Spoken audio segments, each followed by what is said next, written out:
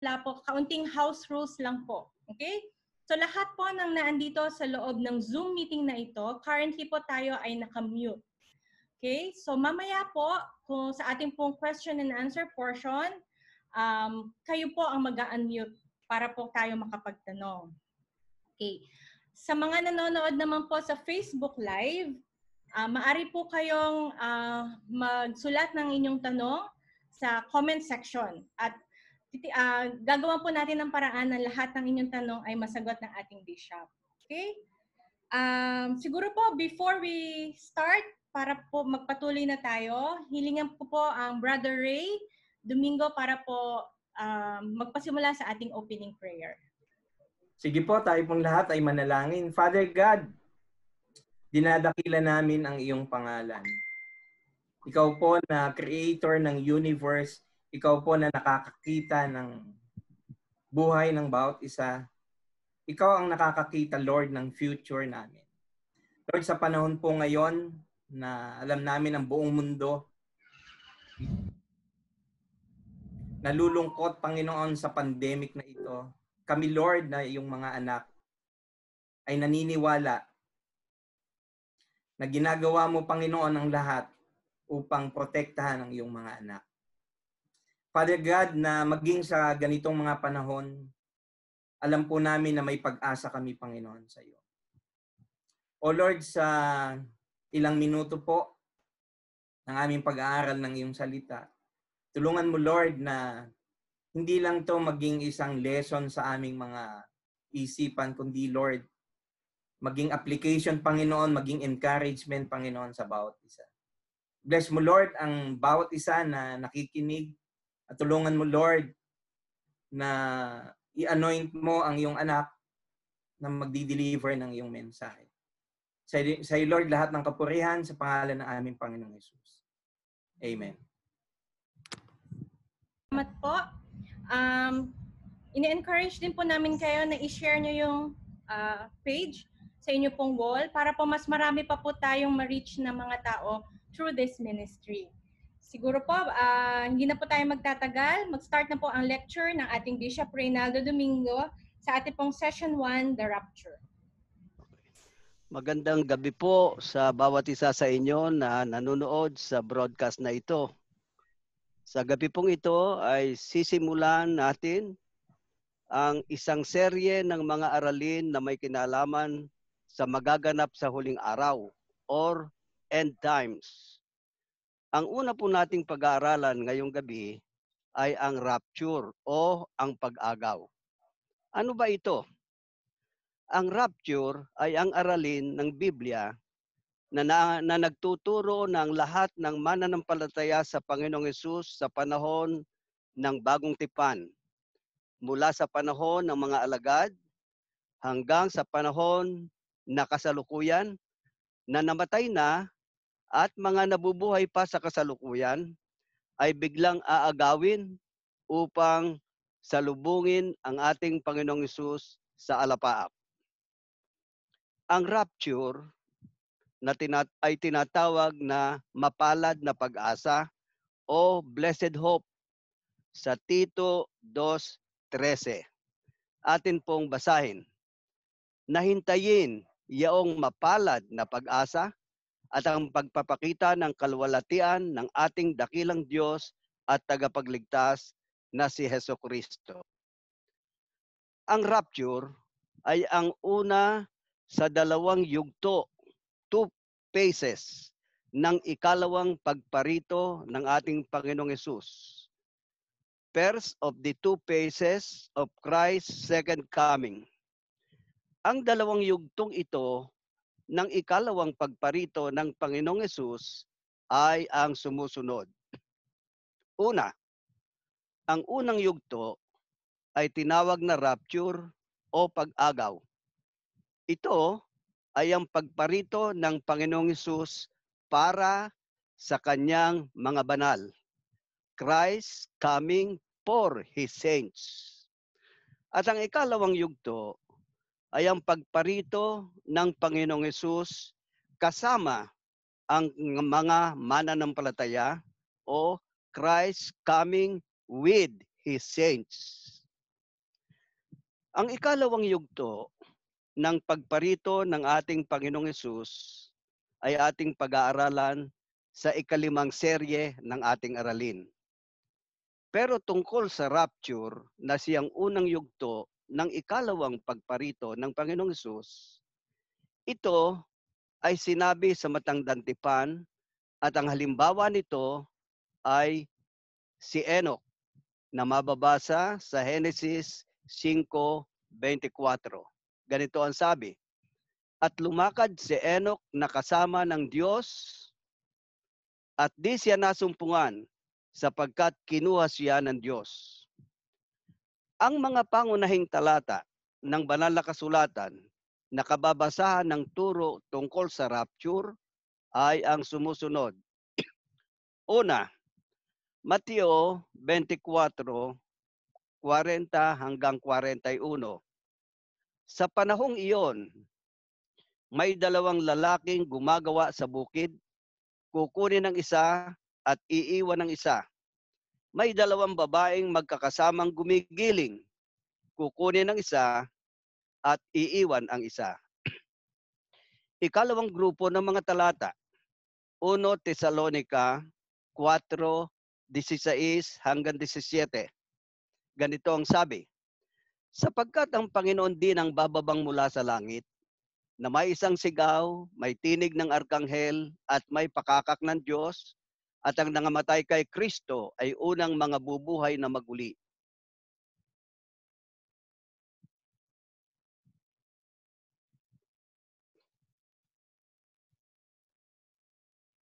Kung magkagayon, tayong nangabubuhay na nangatitira ay aagawing kasama niya sa alapaap upang salubungin ang Panginoon sa hangin at sa ganito isa sa Panginoon tayo magpakailanman. Ang ikatlong grupo ng mga talata ay mababasa sa 1 Korinto 15, 51 at 52. Ganito ang sinasabi.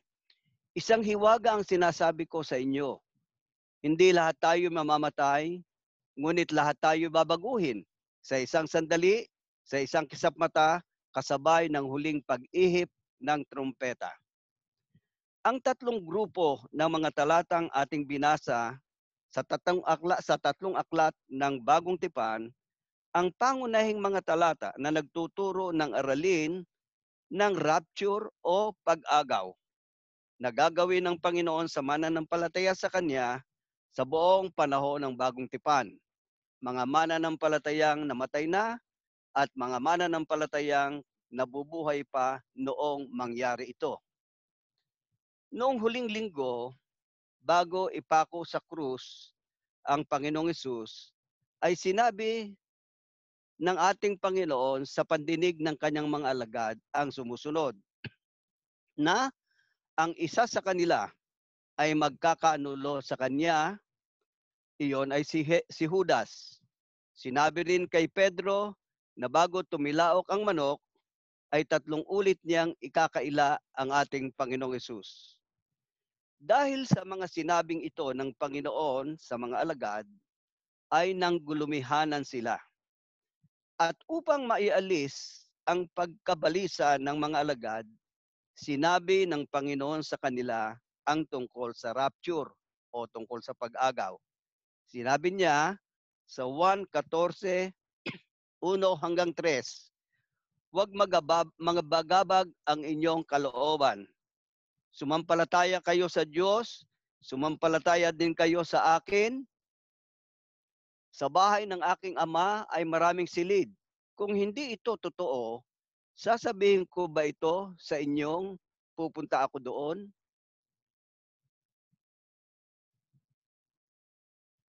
Ako, ako ay pupunta roon upang kayo ay may matirahan. Ako'y babalik at isasama ko kayo upang kayo'y makapiling ko kung saan ako naroroon.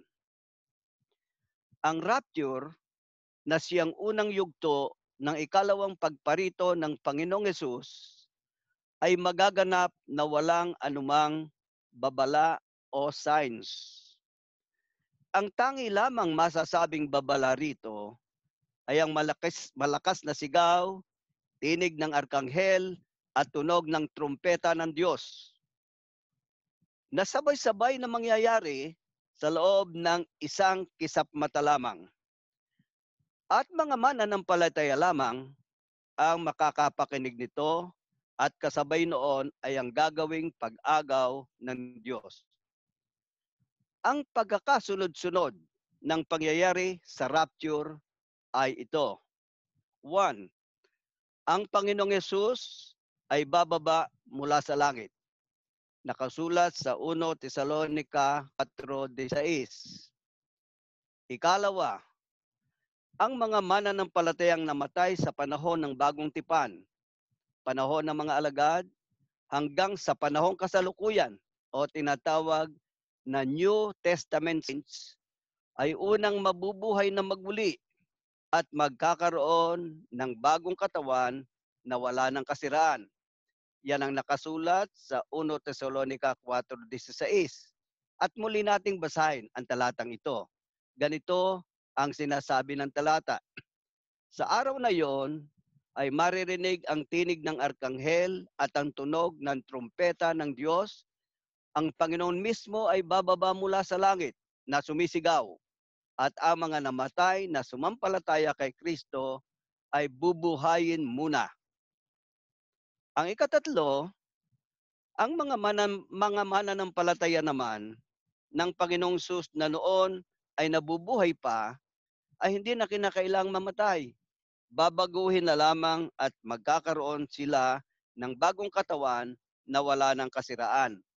Ito ang sinasabi sa 1 Korinto 15.51. Pansinin natin. Isang hiwaga ang sinasabi ko sa inyo hindi lahat tayo ay mamamatay, ngunit lahat tayo'y babaguhin. Ikaapat, lahat ng mananampalataya, patay na binuhay at buhay na binago ay aagawing magkakasama sa alapaap. 1 Thessalonica 4.17 Ikalima, sasalubungin ng mga mananampalataya ang Panginoong Sus sa alapaap. Ating basahin yung talata na yon, 1 Thessalonica 4.17. Pagkatapos, tayo namang mga buhay pa at natitira ay titipunin sa alapaap kasama ng mga binuhay upang salubungin ang Panginoon sa himpapawid.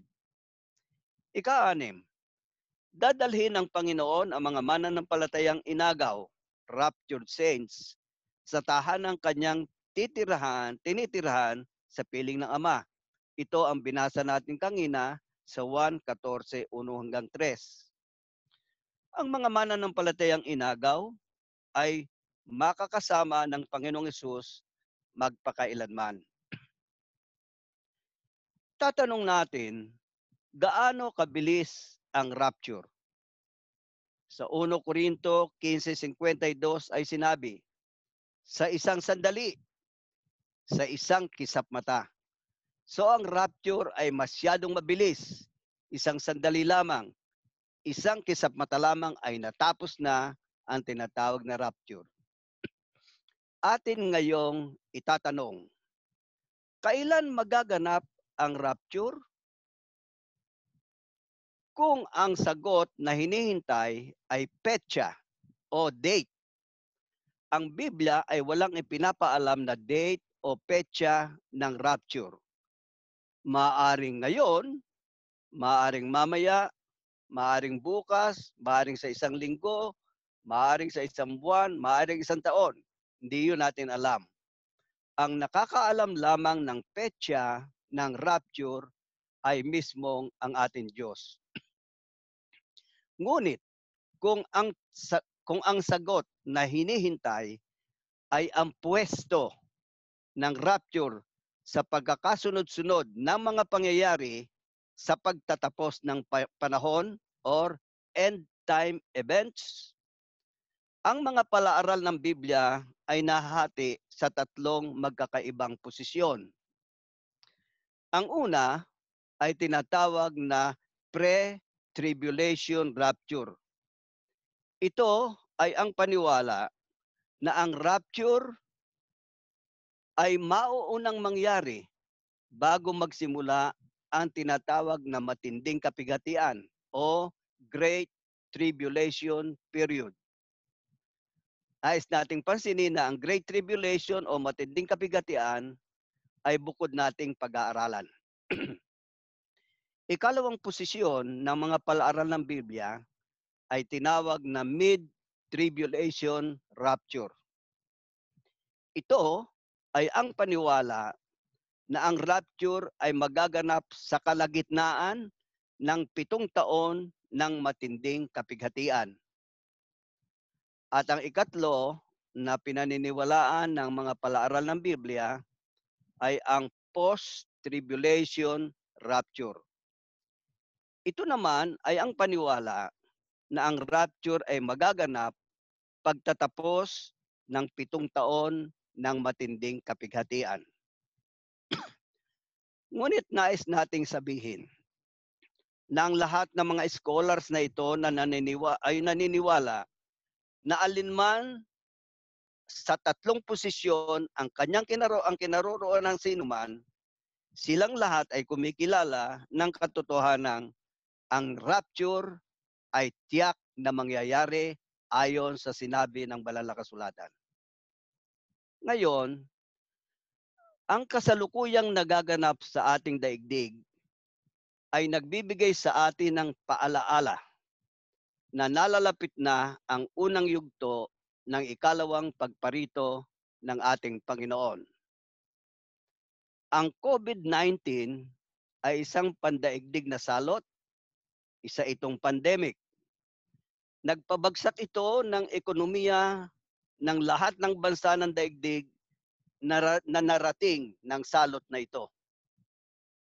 Ang Pilipinas at ang mga bansang mahirap ay nagdaranas na ng ang mga mamamayan ng gutom dahil dito. Sa balitang pandaigdig ay sinasabing may panganib sa pagsisimula ng malawakang digmaan sa pagitan ng Amerika at ng bansang China. Bukod doon, ang Israel at ang Iran ay nagpapatuloy sa gantihan sa pagpapaputok ng iba't ibang missiles. Madalas ang paglindol sa iba't ibang dako at iba't ibang bansa ng daigdig. Kamakailan, lumindol muli sa Pilipinas. Ang mga digmaan, ang mga lindol, ang mga pagkakagutom ay ilan sa mga palatandaan na nalalapit na ang ikalawang pagparito ng Panginoong Sus, yung ikalawang yugto. Ganito ang sabi sa Mateo 24, 7 hanggang 8.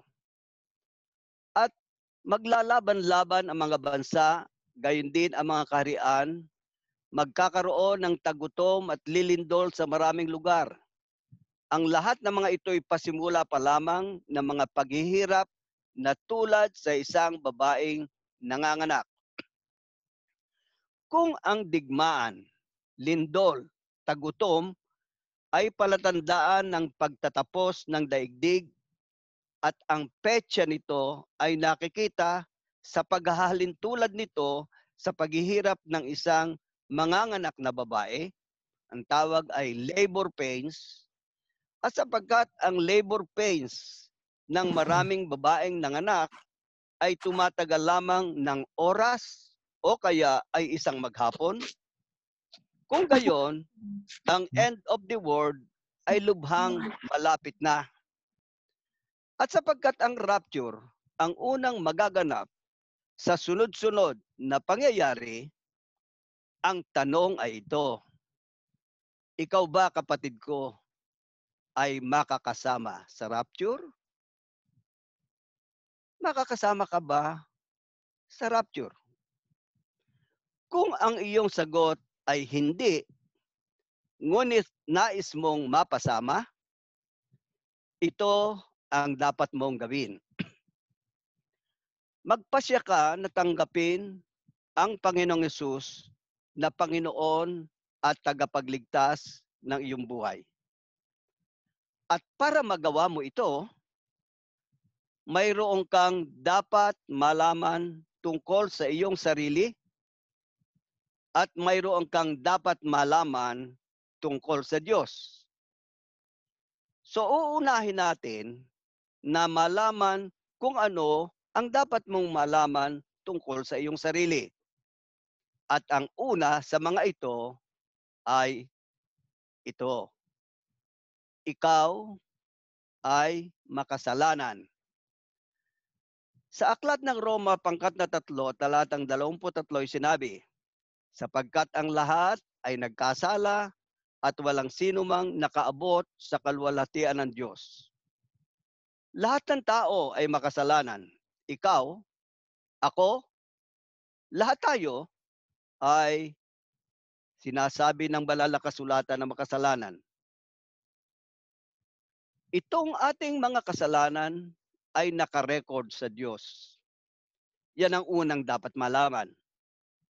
Ang ikalawang dapat malaman ay ito. Dahil sa iyong kasalanan, nahiwalay ka sa Diyos. Yan nasabi sa Isaias 59.2. Ganito ang pagkakasabi. Kundi pinapaghiwalay ng iyong mga kasamaan, kayo at ang inyong Diyos. At ang inyong mga kasalanan ay siyang nagpakubli ng kanyang muka sa inyo upang siya ay huwag makinig. Sinabi ng Biblia na ating binasa na ang taong makasalanan ay nahiwalay sa Diyos. At kung dadalangin ng taong makasalanan, hindi siya pakikinggan ng Diyos ayon sa talatang yan. Bukod pa sa malungkot na bagay na ito, sinasabi rin sa banal na kasulatan na ang taong makasalanan ay kaaway ng Diyos. Ganito ang sabi sa Roma 8.7 sapagkat ang kaisipan ng laman ay pakikipag-alit laban sa Diyos, sapagkat hindi na pasasaklaw sa kautusan ng Diyos ni hindi nga maaari.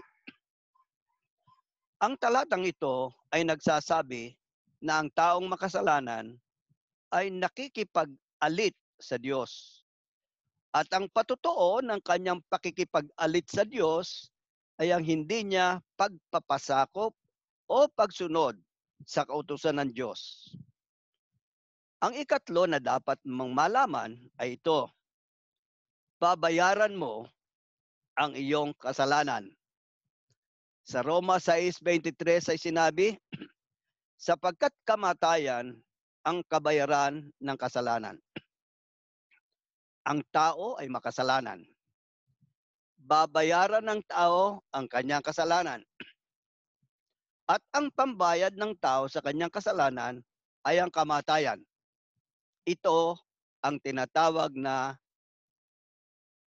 kamatayang ipinapahayag sa Apokalipsis 21.8.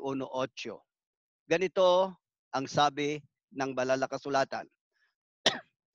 Subalit para naman sa mga duwag, mga taksil, mga gumagawa ng kasuklam-suklam, mga mamamatay tao, mga nakikiapid, mga mangkukulam, mga sumasamba sa Diyos-Diyusan, at sa lahat ng mga sinungaling, ang magiging bahagi nila ay sa lawa ng nagliliyab na apoy at asupri, ito ang pangalawang kamatayan.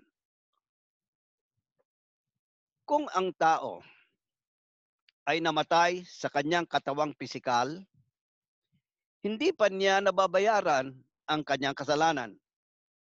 Ang pangbayad niya kasi sa kanyang kasalanan ay ang walang hanggang pagdurusa sa lawang nagniningas na apoy at asupri. At ang tawag doon ay ikalawang kamatayan. Bawat isang tao ay makasalanan. Dahil sa kanyang kasalanan, siya ay nahiwalay sa Diyos. Sapagkat hiwalay siya sa Diyos, kung siya'y dadalangin, hindi siya pakikinggan ng Diyos. Dahil pa rin sa kanyang kasalanan, naging kaaway siya ng Diyos. At sapagkat ang Diyos ay Diyos ng katarungan, Hindi niya pwedeng pagpasensyahan ng kasalanan ng tao. Hinihingi ng kanyang pagiging makatarungan na pagbayaran ng taong makasalanan ang kanyang kasalanan. At kamatayan ang pambayad ng taong makasalanan sa kanyang kasalanan. Ang kamatayang tinutukoy na bayad sa kasalanan ay ang ikalawang kamatayan. Ang ikalawang kamatayan ay ang walang hanggang pagdurusa sa dagat na nagniningas na apoy at asupri. Iyan ang dapat malaman ng taong makasalanan tungkol sa kanyang sarili. Ngayon, atin namang aalamin ano naman ang dapat malaman ng taong makasalanan tungkol sa Diyos? Una, dapat niyang malaman na siya ay mahal ng Diyos. Yun ang sinasabi sa 1.3.16. Sapagkat gay na lamang ang pag-ibig ng Diyos sa sangkatauhan, kaya't ibinigay niya ang kanyang kaisa-isang anak upang ang sino mang sumampalataya sa Kanya ay hindi mapahamak, kundi magkaroon ng buhay na walang hanggan. Ang ikalawang talata ay nasa 2 Pedro 3.9. Ganito naman sa nasabi, Ang Panginoon na hindi nagpapabaya sa kanyang pangako gaya ng inaakala ng ilan. Sa halip, nagbibigay siya ng pagkakataon sa lahat sapagkat hindi na niya nais na may apamak. Sabi, dalang tatang ito na ating katatapos basahin na mahal ng Diyos ang lahat ng tao at hindi nais ng Diyos na mayroong tao na mapahamak sa dagat na nagniningas na apoy at asupili. Sinabi rin na para hindi mapahamak ang tao, ay ibinigay niya ang isang anak na ang Panginoon ito ang ikatatlong dapat malaman na ang Panginoong Yesus ang nagbayad ng iyong kasalanan. Mababasa yon sa Roma 5:8 na ganito ang sinasabi. Ngunit pinatunayan ng Diyos ang kanyang pag-ibig sa atin nang mamatay si Kristo para sa atin. At sa Roma 5.10 naman ang sabi, Dati, tayo'y mga kaaway ng Diyos, ngunit tinanggap na tayo bilang mga kaibigan sa pamamagitan ng pagkamatay ng kanyang anak. Ang pagkamatay ng Panginoong Kristo ay upang mapasa atin ang sumusunod. Magkaroon ng pangbayad sa ating kasalanan. Ang Panginoong Sus lamang ang kaysa isang tao sa daigdig na walang kasalanan. Kaya't noong siya ay mamatay sa krus ng Kalbaryo, ang kanyang kamatayan ang naging pangbayad sa kasalanan ng lahat ng tao sa daigdig.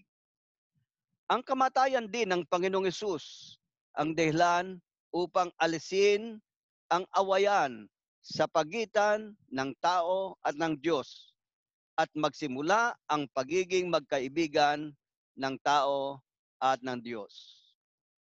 Sa pamamagitan ng kamatayan ng Panginoong Isus sa krus, naglaan siya, ang Diyos natin ay naglaan para sa atin ng ano, ng pambayad sa ating kasalanan at paraan para makipagkasundo tayo sa Diyos.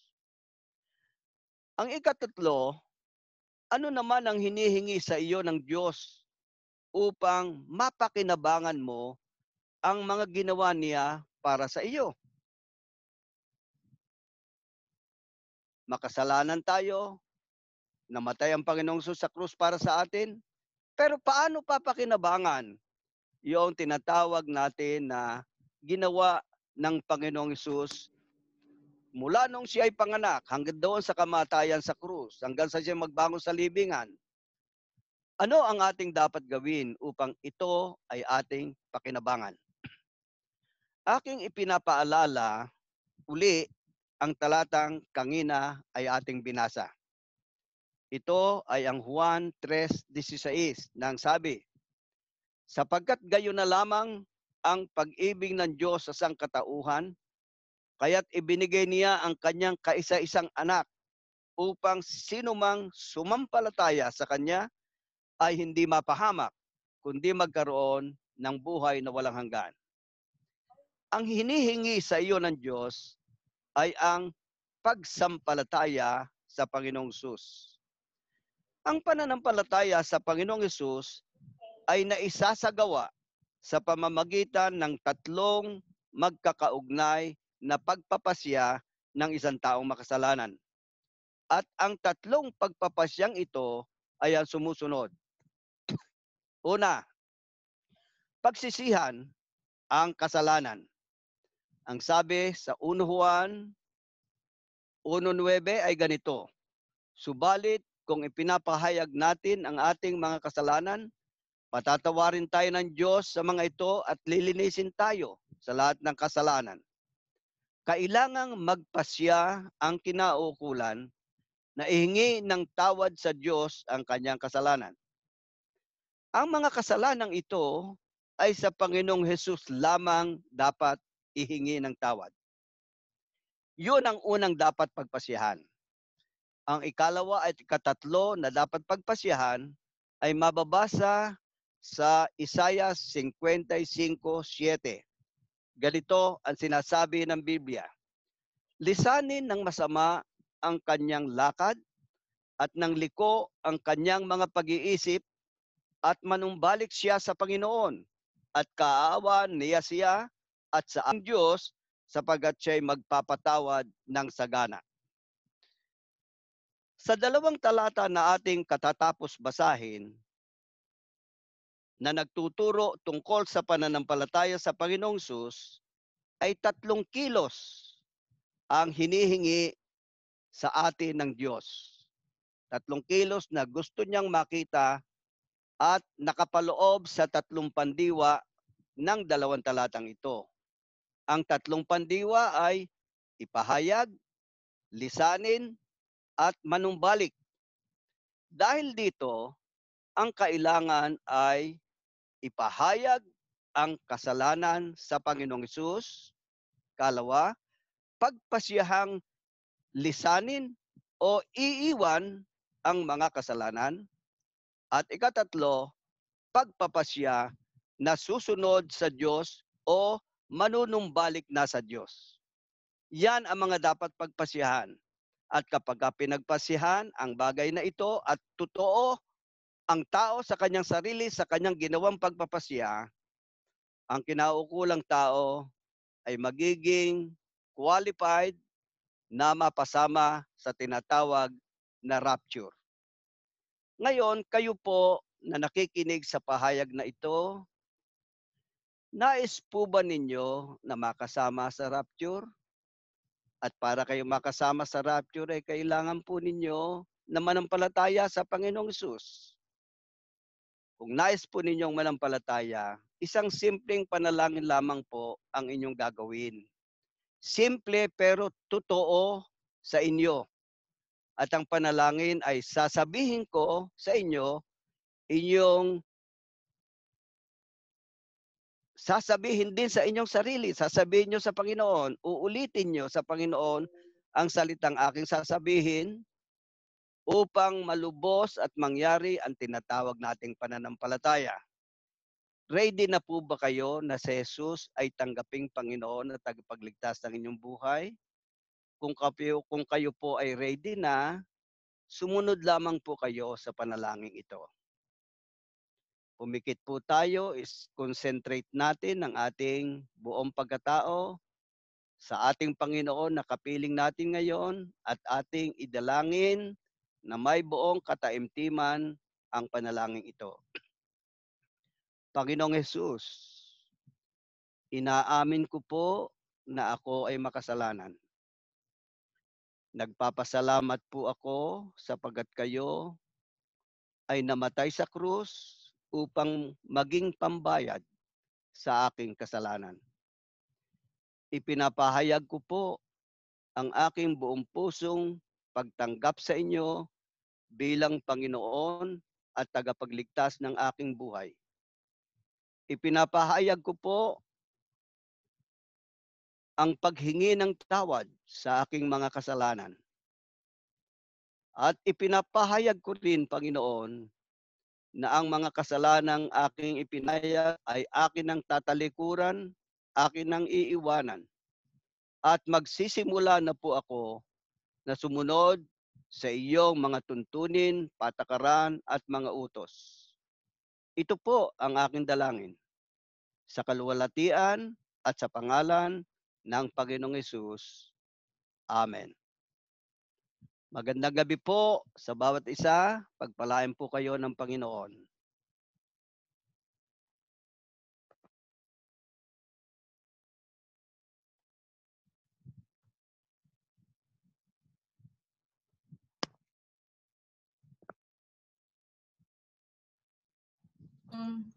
Mangyayari sa mundo, ah, Okay, magandang gabi po uli. Nakamute daw po ako kanina.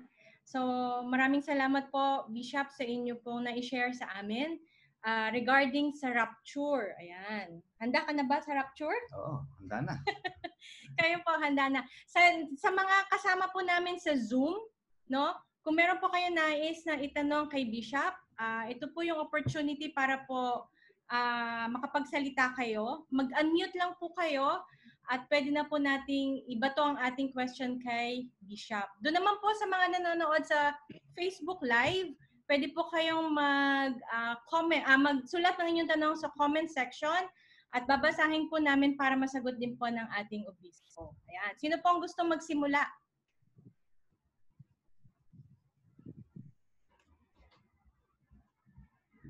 Pwede ba natin makita? Ayan, sa Zoom po natin, uh, marami po ako nakitang mga kamanggagawa ng Daddy sa church. Magandang magandang gabi po sa inyo. May nakikita po ako from US, from Dubai, from, saan ba si Joma? Ireland? Ate sa Ireland. Ayun, Ireland, ayan. So sa iba po, magandang umaga. Sa iba, magandang gabi. Yan. Sino pong nais, meron pong nais na itanong para po dito sa ating uh, session po regarding sa rapture. Uh, Bishop, may tanong po. Ano daw po ang mangyayari sa bata pag nag-rapture? Automatic daw po ba na makakasama na ito sa rapture pag po dumating? Salamat doon sa tanong. Alam nyo, ang batang hindi pa dumarating sa edad ng pagkakilala ng mabuti at masama, Sinabi ng ating Panginoong Sus sa mga alagad, huwag niyong pigilan na lumapit sa akin ang mga bata sapagkat sa kanila ang kaharian ng langit. Therefore, sa panahon ng rapture, ang mga bata po ay kasama doon. Yung mga batang hindi pa nakakakilala ng mabuti at masama. Ang tinutukoy po doon ay hindi pa dumarating sa age of accountability. May mga bata pong dumating na ang age of accountability ng age 3, age 4, age 5. Pero hindi po uh, maipipirme ang araw o ang, ang age ng pagdating ng age of accountability. Habang wala pa po ang age of accountability, ang bata po ay kasama sa rapture, maging namatay na siya o maging nakasalukuyan siyang buhay. Marami po salamat sa tanong. Salamat din po.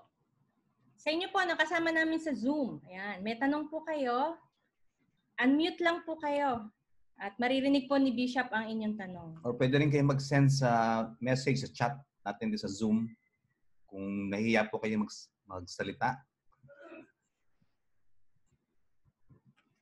Ako, uh, Bishop, meron po akong tanong uh, habang naghihintay po tayo ng mga tanong. Kaya kayo na po na i-share nyo kanina na merong pre-tribulation, post-tribulation period na iba-iba pong mga uh, uh, pagkakaunawa mga, mga pagkakaunawa po mga iba pong mga scholars. Ang ating po bang tayo po ba ang ano po ba ang ating ano stand dito? Ako po ay personal na naniniwala doon sa pre-tribulation rapture. Bago dumating ang Great Tribulation, ang church, ang mananampalataya sa Panginoong Sus, ay dadalhin na doon sa itaas. Okay. Tanong. Okay, may tanong po dito mula sa FB natin, no, sa page po. Okay. Ah, Bishop, paano daw po Pwede yung ah, hindi makakasama sa rapture? Halimbawang naiwan daw po. May pag-asa pa po ba siyang maligtas? At tanong po ito ni Sister Bernadette Luwalhati yan. Alam ninyo, yung hindi mapapasama sa rapture, sila ang magdaranas ng tinawag na Great Tribulation Period. Ang sabi ng Panginoong Yesus, yung Great Tribulation Period, hindi pa nararanasan ng sino mang tao mula noong daigdig ay maging daigdig. Noon lamang mangyayari yon. Ngayon, sa banal na kasulatan ay mababasa sa kapitulo 6 ng ah, Apokalipsis na meron doong mga namatay na humihingi sa Diyos ng hustisya. Mga ang tawag doon ay tribulation saints. Sa makatwid, meron pa ring naliligtas sa panahon ng Great Tribulation, pero sa panahong iyon, pagka ikaw ay nagpasya na ikaw ay ah, sasampalataya sa Panginoong Yesus, ano, halos halos pinili mo na ang kamatayan. Unang-una, paghahari ng Antikristo ang Great Tribulation period eh.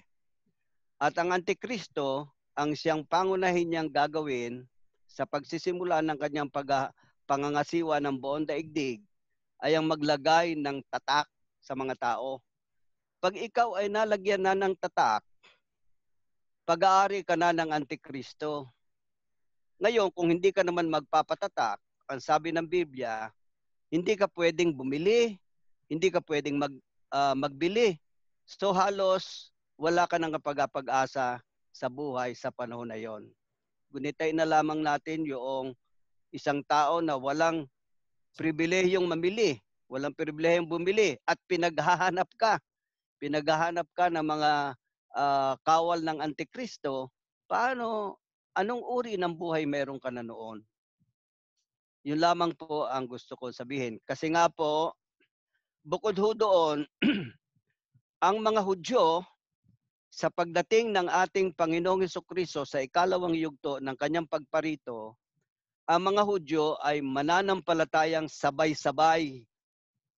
Ngayon, yun ang mga ah, magiging Kristiyano sa panahon ng tinatawag natin na ah, dakilang kapigatian o matinding kapigatian. Kasi po ang mga Hudyo sa panahong kasalukuyan, hindi po nila kinikilalang ang Panginoong Susay Mesiyas. Pero sa ikalawang yugto ng pagparito ng Panginoong Isus, na makikita sila ng lahat, siya ng lahat ng tao, kasama tayo doon na bumababa ang Panginoong Isus mula sa langit, kasama ang mga raptured saints, noon kikilalanin bilang isang bansa ng mga Hudyo na ang Panginoong Isus nga ang Mesiyas. Sila ngayon ang mga bagong mananampalataya sa panahon ng Great Tribulation period. Maraming po salamat sa tanong. Maraming pong salamat. Ah, meron pong tanong dito kay ah, Brother Dan Miller Maglonso. Ang sabi po, ang tanong po niya ay, paano po yung mga wala sa matinong pag-iisip, yung mga hindi po normal ang utak? Paano po kaya ang rapture para sa kanila? Alam po ninyo, ang mga taong ah, wala sa kanilang katinuan, nung panahon na sila'y matino, ina, ina, ine-expect ng Diyos na sila ay kumilala na sa Kanya. Pero kung panahon kung ang tao ay pinanganak na wala talagang tino ang isip, kasama yon doon sa mga batang tinatawag na para sa kanilang kaharian ng Diyos. Kasi hindi sila nagkaroon ng kaayusan ng isip. Salamat po, Bishop. So, ibig kong sabihin, ito po yung may kinalaman din po doon sa ano yung ah, age of yung account, account, accountability sa kay normal na pag-iisip na Okay, oo. Yun po. Okay. Thank Ah, you. Meron pa, meron pa akong tanong dito ah. Ah, kay Kuya Baini, Tuhan, yan. Ano po ang mangyayari sa mga naiwan after ng rapture? So, parang yun po yung tanong din kanina, no? Mm. Oo.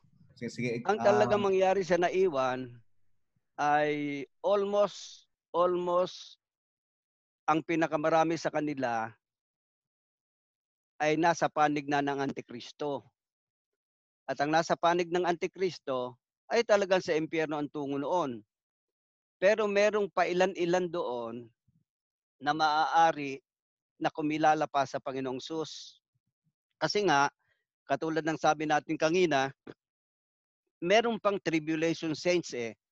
Sa panahon ng matinding kapigatian, meron pa ring nakakakilala. Pero ang sabi ko sa inyo, ang pinakamarami doon, mga Hudyo. Paisa-isa na lang marahil yung mga hindi Hudyo na mananampalataya sa Panginoong Sus. Pero pag nanampalataya ka sa Panginoong Sus nung panahong yon, parang ang pinili mo na ay kamatayan. Okay, salamat po. Tuloy tayo sa mga maray dad, maray ah, Bishop, maray pong mga tanong dito, no? So siguro kung Sige, okay. kailangan natin mag-extend ng mga time, ah, mag-extend po tayo ng time pero tatry po namin mabigay po ang lahat ng mga katanungan ano. At galing po kay Sister Ira Cruz. Ang tanong po niya, paano po yung mga tribo na hindi nakaalam o nakarinig ng salita ng Diyos o salvation? Makakasama po ba sila sa rapture? alam ninyo, sinabi sa sinabi sa banal na kasulatan, lalo sa huling panahon, ang buong daigdig ay masasakop ng pangangaral ng Ebanghelyo. Pero, kunyari ay paniwalaan natin. Kunyari ay paniwalaan natin na may mga tao na talagang hindi nakapakinig ng Ebanghelyo. Kunyari lang, ay paniwalaan natin na mga taong may mga taong talagang hindi nakarinig ng ebanghelyo. Sa Roma kapitulo 1 ay sinasabi roon, huhusgahan sila base doon sa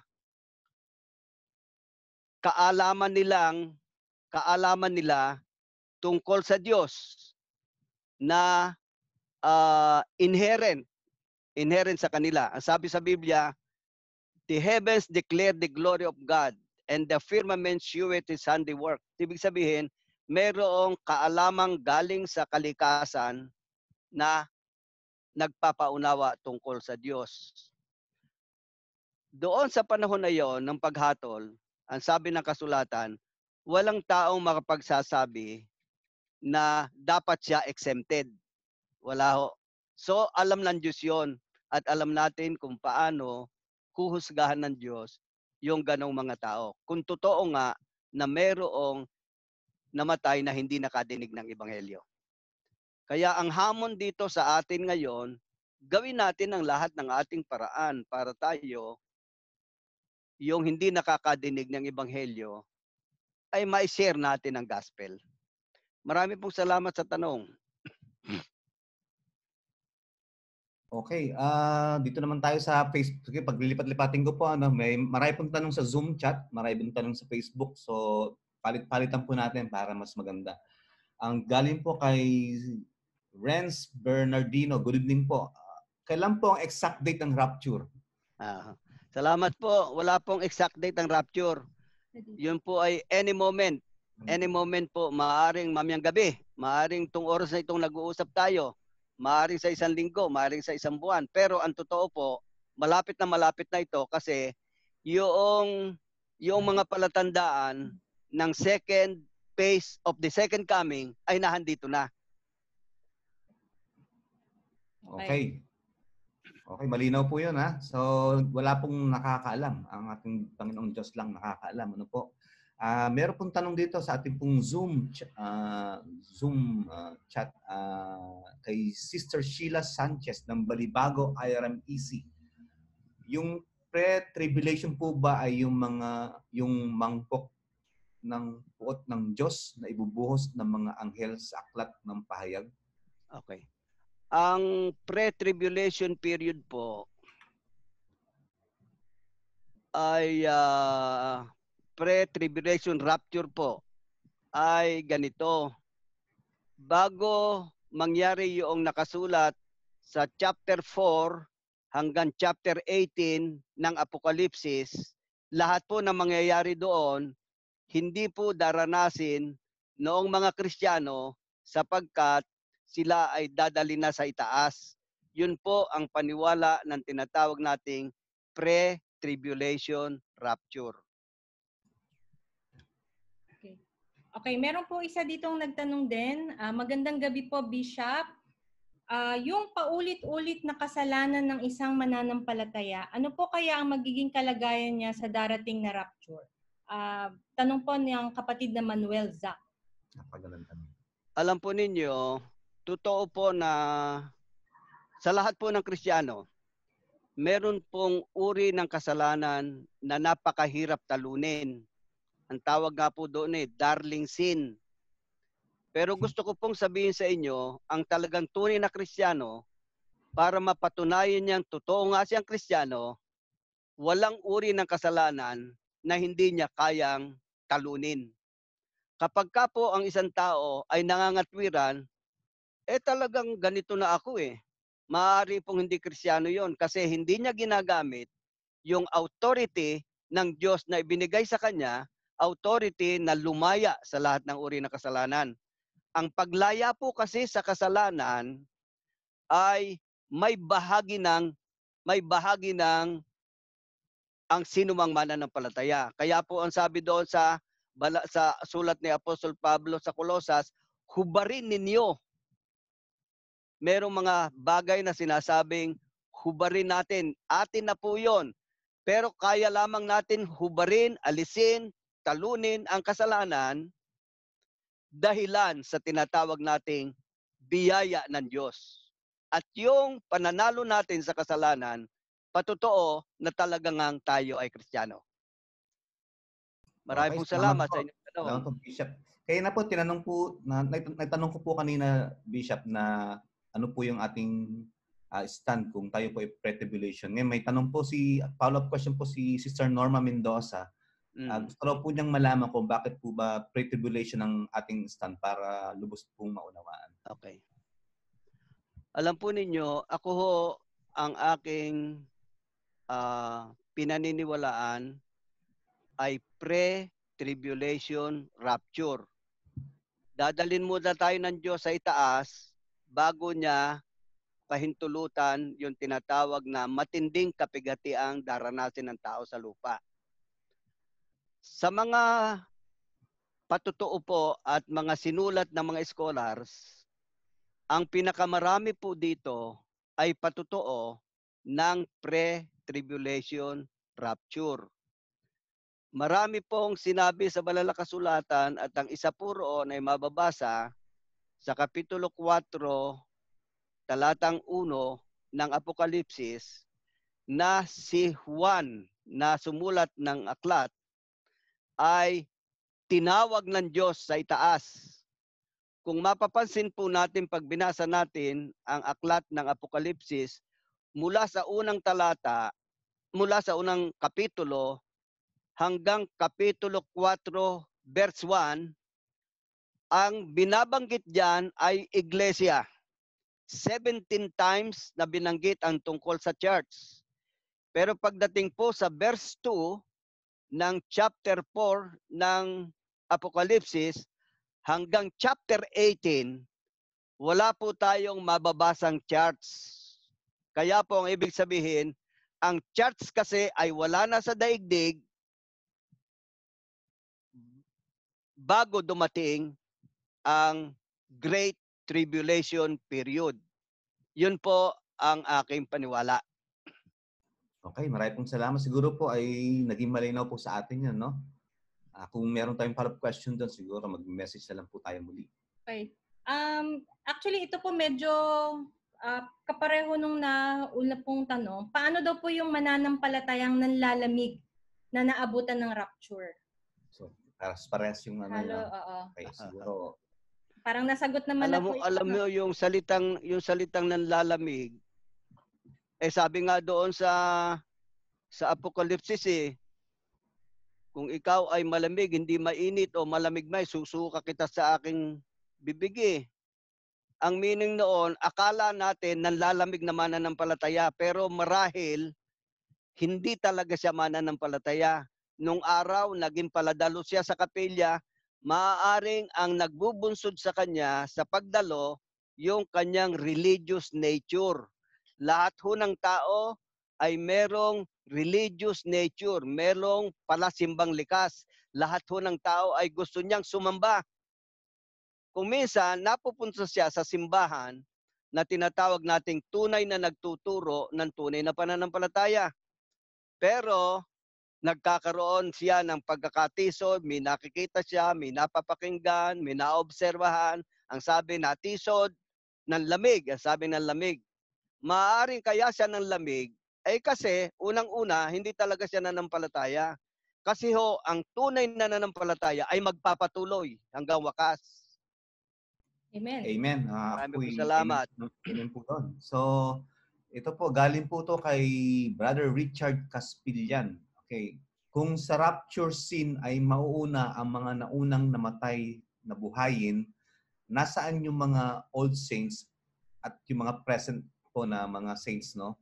Sa libingan po ba o langit? Kung nasa langit na po, bababa po ba sila to find their own Ah, places and again ascend? Okay. Okay. Maraming po salamat sa tanong.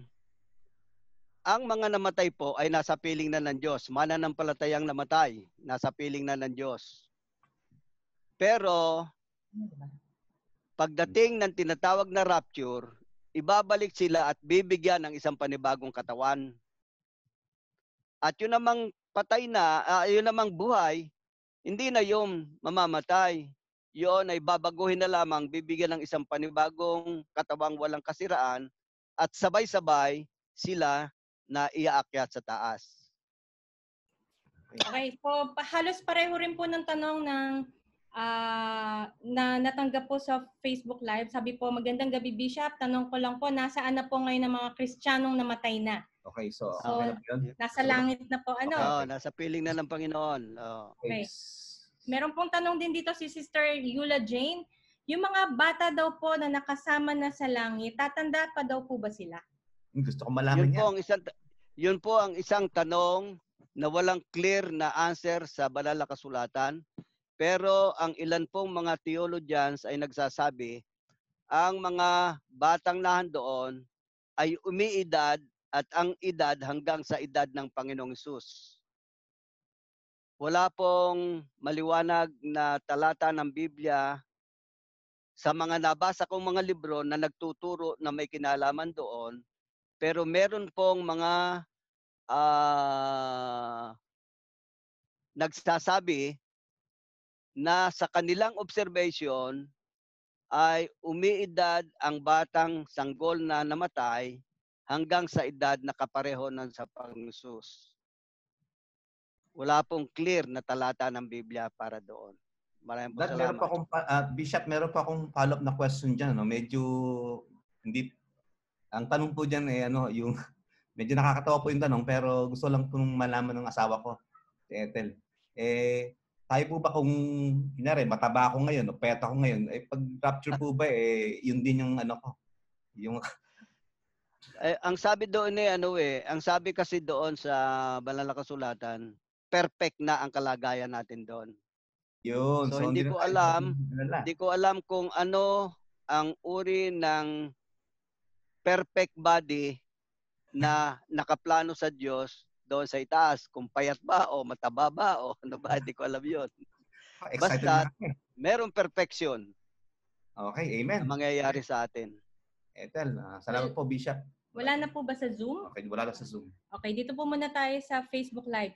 Magkakasabay po bang bibigyan ng glorified body ang Old Testament saints at New Testament saints? Hindi po. Ang ang New Testament saints mula sa panahon ng mga alagad hanggang sa panahon natin ngayon, ang tawag po diyan eh church age. Sila po, tayo po ay unang makakasama ng Panginoon sa langit. Ang mga ang mga Old Testament saints po, sila ay babangon doon sa tinatawag na first resurrection bago po bago po ipasok ng Diyos sa millennial reign sa isang libong taon ng paghari ng Panginoon. Okay. Marami pong salamat, Bishop. May tanong po dito ang ating Pastor Amiel, Natividad. Ang sabi po, ano po ang inyong pananaw sa cremation? Ha, cremation. Ah. ano ho? Ah, sa akin, whether magpa-cremate ang tao o hindi magpa-cremate. Basta't ang totoo, kahit saan, kung cremated siya, kahit saan dalhin ang kanyang ah, abo, pagdating ng rapture, kaya ng Diyos buuin uli ang kanyang katawan. Yun po ang aking position doon. Ang Biblia po ay ah, walang maliwanag sinasabi sa cremation sa aking pagkakaalam. Ang alam ko, masyadong mataas ang pagpapahalaga ng mga Hudyo sa bangkay. Ito nga pong si ah, si Jacobe, yung kanyang buto ay pinapa pinapadala pa kung saan doon yung kanyang mga kaanak eh. Okay. Salamat po. Ah, Bishop, may tanong po. Doon daw po sa mga nanampalataya during the Great Tribulation, ano daw po ang mangyayari sa kanila? Ang marami sa kanila ay papatayin kaagad. Ah, Kaya ang mababa- mababasa natin ay ah, mababasa natin sa chapter 6 ng Prover- ng ah, Apocalypse na sila'y humihingi ng tinatawag na hustisya sa Diyos dahilan sa mga naminsala sa kanila. Pero yung mga Hudyo ay ay ah, buhay sa katawang pisikal na mananampalataya sa Panginoong Hesus sa panahon ng Great Tribulation at sila yung buhay pa sa katawang lupa at maaring merong hindi Hudyo na buhay pa rin sa katawang lupa na makakasama ng mga Hudyo, sila ang papasok sa millennial reign at sa millennial reign, sila yung magpaparami uli ng mga tao sa daigdig.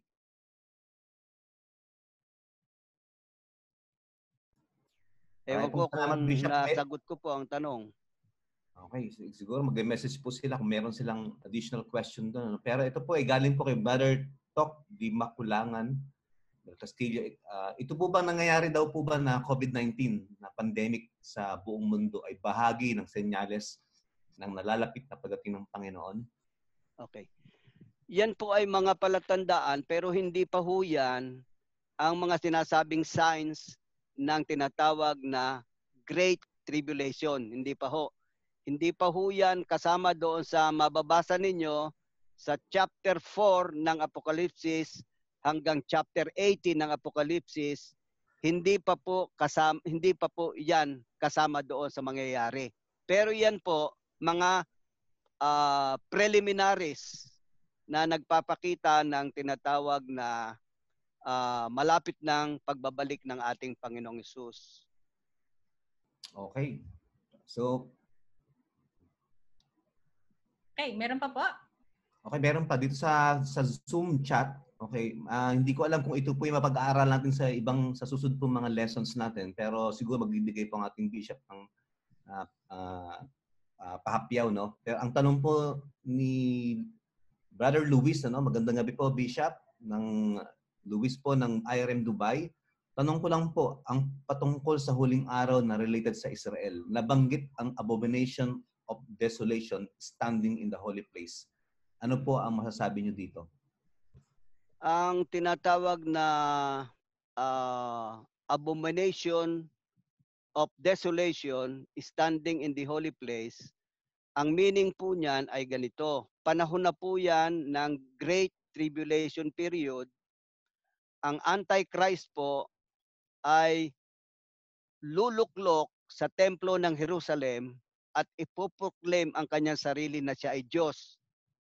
So bago po mangyari yon, kakailanganin muna na matayo ang third temple sa Jerusalem. Pero kung sapagkat kayo po naman ay ah, palabasa ng mga dyaryo at mga ah, current events, sa Israel po ngayon ay nakalitaw na ang mga pag-uusap sa pagtatayo ng third temple. Ang ang tinatawag po natin na Great Tribulation period, magsisimula po 'yon kapag ang temple ay nakatayo na. Isa po 'yon sa palatandaan, nakatayo ang templo. Meron na ang nangangasiwa na ng daigdig ay Antikristo. tatlong taon ng Antikristo ay mak, ah, maki- ah, makikipagpayapaan ang Antikristo sa mga Hudyo kasi ang mga Hudyo lamang ang hindi kikilala sa kanya pero ang mga Hudyo ang Antikristo ay papasok ng tra- treaty, tratado ng kapayapaan sa mga Hudyo at ang haba ng treaty ay seven years. Pero ang mangyayari, sa kalagitnaan ng seven years of tribulation na yon, ang gagawin ng Antikristo, uupo siya sa luklukan doon sa ipapagawang templo ng Jerusalem and he will proclaim himself as God. Yun na po ang tinatawag na desolation na inyong itinanong. Sa panahon po yan ng kalagitnaan ng Great Tribulation, ang gagawa po niyan ay ang Antikristo. Marami po pong salamat sa tanong. Okay, maraming salamat sa mga po sa mga magkatanong po no. Ah, meron po tayong mga susunod na mga lessons from ah 10 lessons po ito. Ah, rapture, judgment seat of Christ, the great tribulation, the battle of Armageddon, second coming, judgment of the ships and the goats, the millennial reign, the great white throne judgment, Daniel's 70th week, and the new heaven and the new earth. So, maaari siguro lilimitahan po namin yung mga tanong maaari na may kinalaman sa mga susunod nating lessons. Siguro Ah, ganun po ang ating gagawin for the meantime. At i-reserve po natin yung ibang tanong para sa mga susunod na lessons. Okay? Ah, sige, pagpatuloy tayo sa mga iba pang tanong na may kinalaman sa ating lesson ngayon. Okay. Ah ah, Bishop, tanong po. Ah, Edgar Filipina Santos, paano po ang gagawin ng mga tao sa panahon ng Great Tribulation upang maunawaan ang salita ng Diyos kung ang Holy Spirit ay wala na po sa mundo? Alam po ninyo, ang aalis lamang po ay ang church. Ang Holy Spirit po ay hindi aalis kasi po walang taong maliligtas kung walang mediation ng Holy Spirit. So ang Holy Spirit po ay nahandito pa noon. Meron pong nagtuturo na ang ang, ang aalis ay ang Holy Spirit. Pero sa marami pong mga scholars ay sinasabi nila na ang aalis lang ay ang church. Ang church po kasi ay isa sa mga deterrent ng paglaganap ng kasalanan.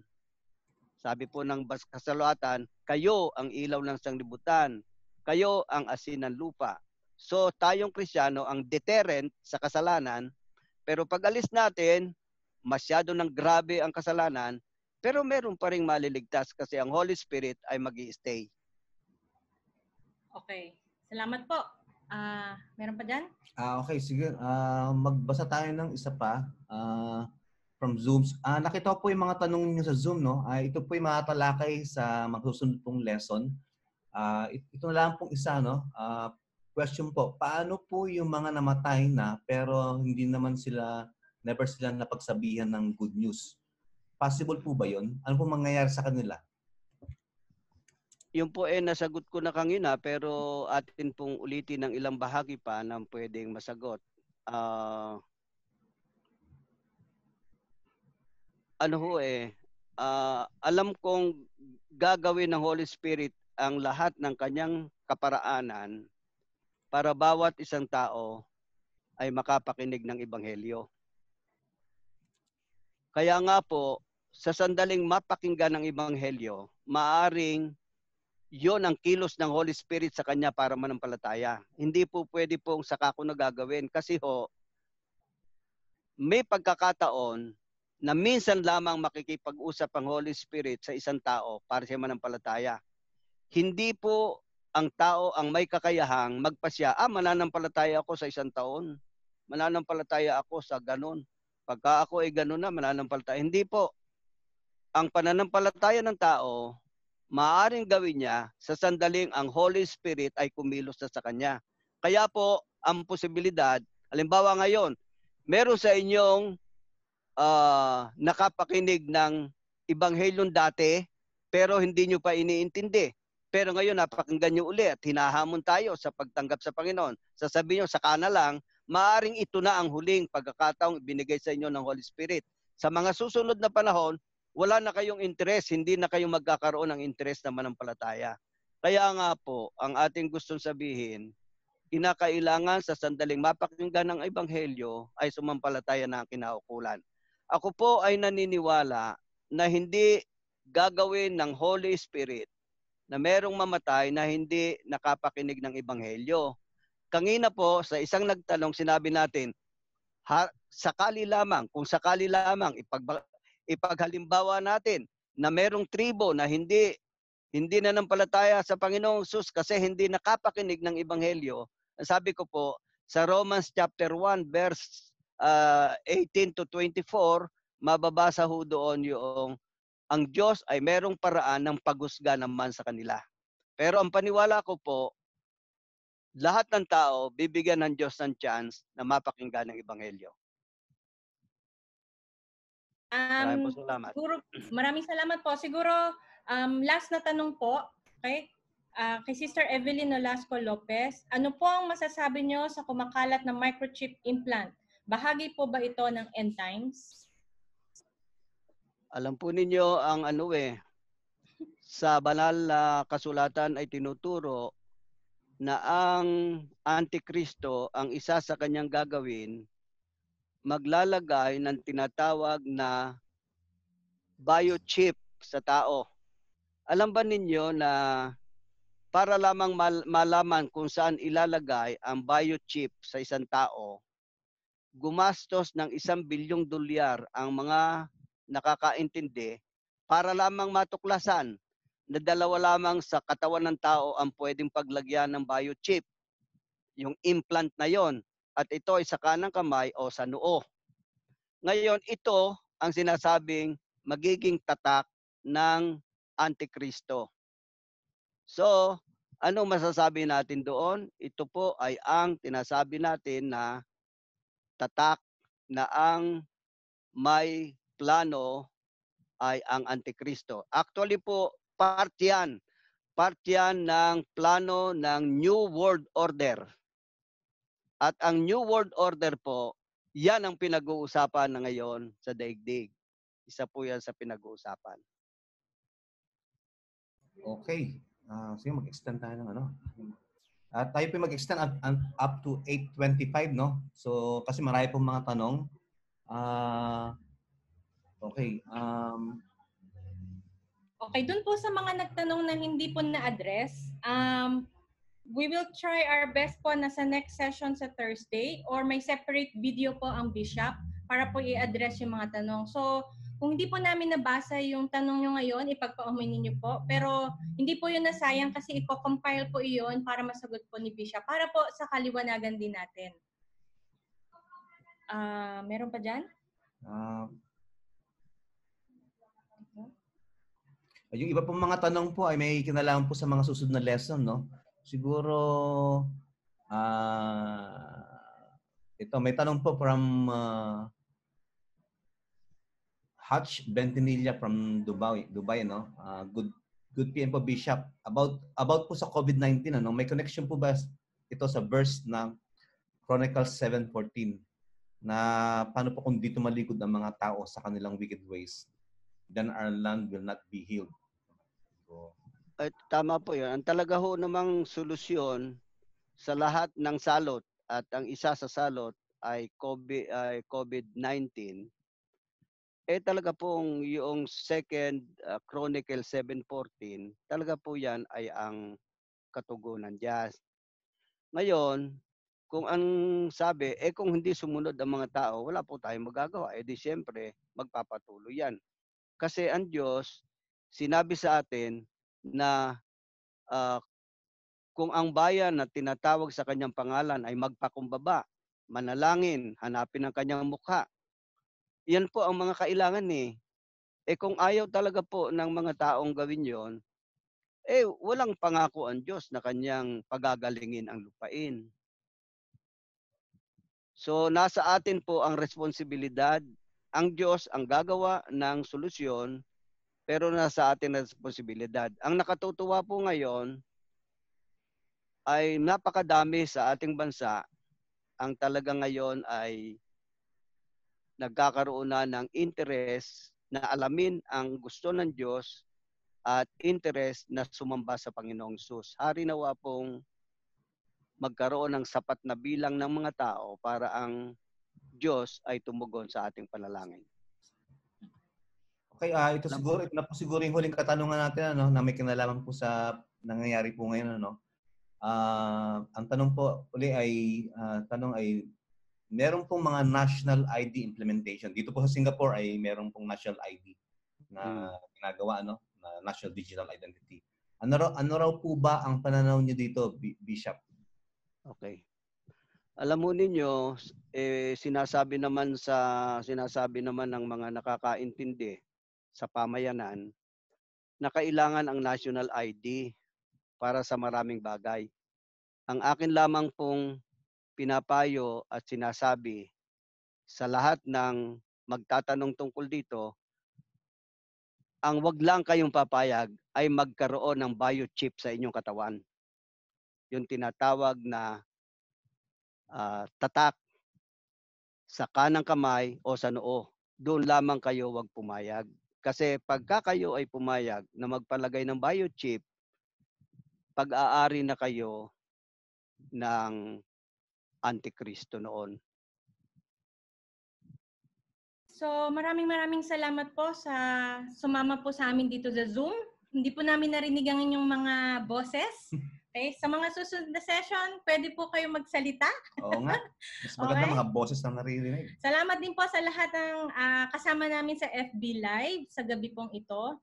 Ah, siguro po before we close, basahin ko po yung isang comment sa ating FB Live. Galing po sa isang 8 years old.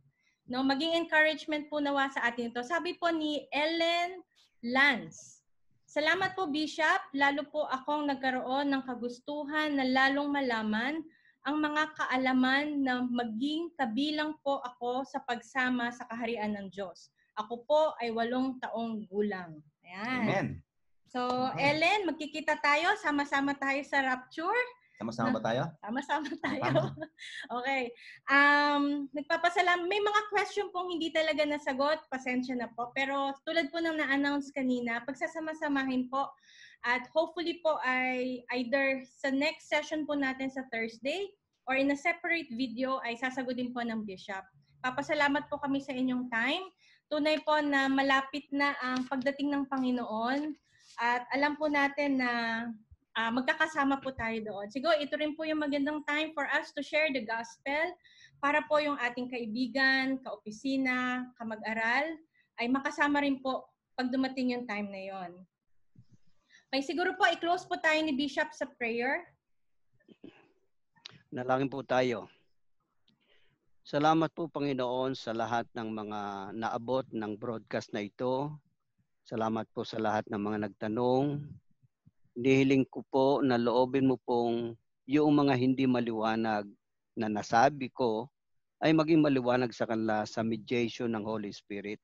Amen. Higit sa lahat po, hinihiling ko po na loobin mong malaman ng kinaukulan, lalo po nitong 8-year-old na bata na ito, na ang kailangan lamang tanggapin ang Panginoong Yesus na Panginoon ng buhay at mabuhay ng sumusunod sa iyo.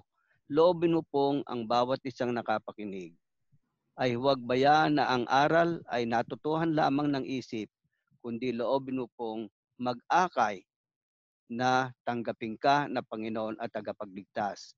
Doon naman po sa mga nakapakinig na sila ay katulad na namin na talagang nakakilala na sa iyo, maging daan po Panginoon para sa lalong pagyaman ng kaalaman ng bawat isa. Sa pangalan po ng aming Panginoong Isus, sinihiling ko po ang pagpapala para sa bawat isa at ang pagpapatuloy na pagpapala nyo sa broadcast na ito. Sa pangalan po at kalawalatian ng Panginoong Isus. Amen. So muli po, magkita-kita po tayo sa Thursday. Ah, mag-open po uli ang Zoom ng 100 participants. Kung hindi po kayo makapasok, ah, magiging live po tayo um, sa FB ng ating pong Bishop Rinaldo Domingo Ministries page. Ayan. Okay, so thank you everyone for joining us tonight. At kita-kita po tayo ulit sa Thursday para po sa ating second session na Judgment Seat of Christ. Provided po na hindi pa mag-rapture ha. So, kikita-kita tayo sa Thursday. Kung bukas ay mag-rapture na, di doon na tayo magkita-kita. Okay? God bless po sa bawat Magandang isa. magandang gabi po sa inyo lahat. Amen. Okay, thank you.